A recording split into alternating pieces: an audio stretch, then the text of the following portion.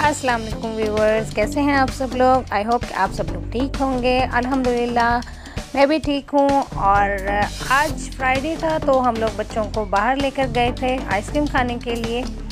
बारिश के बाद मौसम काफ़ी अच्छा हो गया था। रोज़ा अफ्तार करने के बाद थोड़ा सा आइसक्रीम खाने का मूड हुआ तो हम लोग बाहर आ गए। थोड़ी सी सर्दी भी हो रही थी। ज़ाहिर सी बात है बच्चों के लिए प्रोटेक्शन ज़रूरी है तो इसलिए बच्चों को अपर शपर पहना कर हम लोग यहाँ आइसक्रीम खाने के लिए आए थे। सर्दी में आइसक्रीम खाने का तो मज़ा ही कुछ और होता है।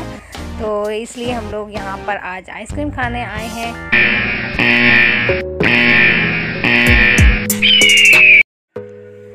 अच्छा जी, यहाँ पर अब हम लोग आइसक्रीम का वेट कर रहे थे और बच्चे बड़े एक्साइटेड हो रहे थे कि मम्मा आइसक्रीम जो है वो सर्दी में हमें खिलाने के लिए ले आई हैं। बारिश के बाद काफ़ी ठंडा मौसम हो गया था।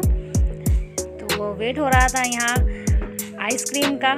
तो आप लोग साथ रहिएगा और इन्जॉय कीजिएगा वीडियो को और कमेंट करके लाजमी बताइएगा कि आप लोगों को वीडियो कैसी लगी।